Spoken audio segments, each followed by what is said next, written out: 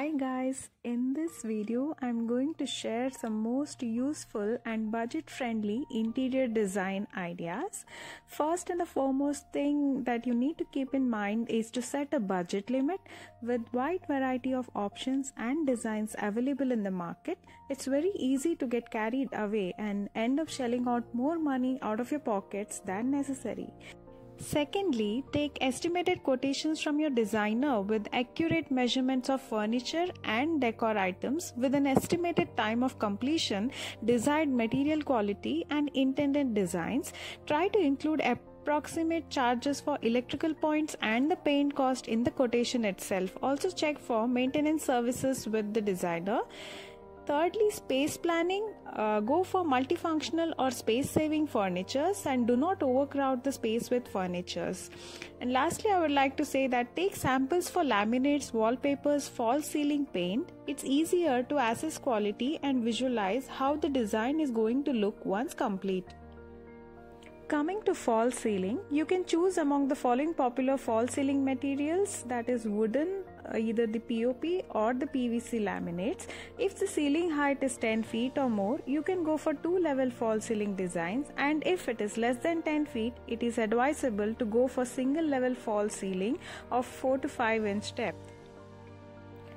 For the TV unit, designer laminates are easily available in the market and if you would like to cut some cost, use wallpapers or textured paint behind the TV unit instead of wooden paneling or louvers. For the most important modular kitchen setup, you can go for acrylic laminates or PVC laminates which comes in matte, glossy or textured finish and also go for tandem drawers or stainless steel drawers and if you're going for stainless steel try to go for 304 grade. If the kitchen is not properly ventilated, go for a chimney either ductless or ducted. Exhaust fans are also useful in such cases.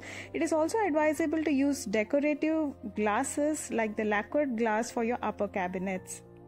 At the time of false ceiling, decide if you would like to go for floor to ceiling curtains. Floor to ceiling curtain creates an illusion of space. You can either choose curtain tracks or curtain rings, which is the traditional rods. You can also go for the blinds or the roll up or you can go for normal curtain fabrics. Light colors also make room look bigger. For the dining walls, use of mirror makes the room look brighter and bigger. You can also use bevel mirrors or decorative mirrors. You can also add wooden paneling and a combination of mirrors for the same. For the selection of lights, go for a combination of branded and non branded lights. If it is non branded, go for the ones with extended warranties. For wooden furnishing, the most popular materials that are used are teak wood, veneer, gurjan plywood, or the MDF. Check for plywood grades your designer provides. The most popular grades are 710 and 303. 710 has higher termite resistance as well as higher resistivity to water as compared to 303. However, 303 is cheaper and easily available as compared to 710. So, in the kitchen, you can go for 710 grade, and other places, you can go for 303 grade. Coming to veneer and teak based furniture, it requires polishing from time to time to get that rustic look.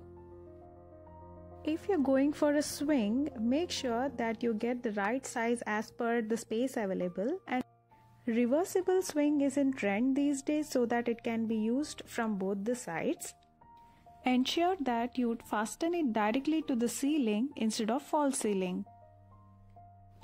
Finally, for small apartments, try to use natural lighting, keep the design minimalistic, and try to use space saving furnitures. I hope these ideas help you in designing your home. Please let us know in the comment section if additional information is required. Thanks for watching.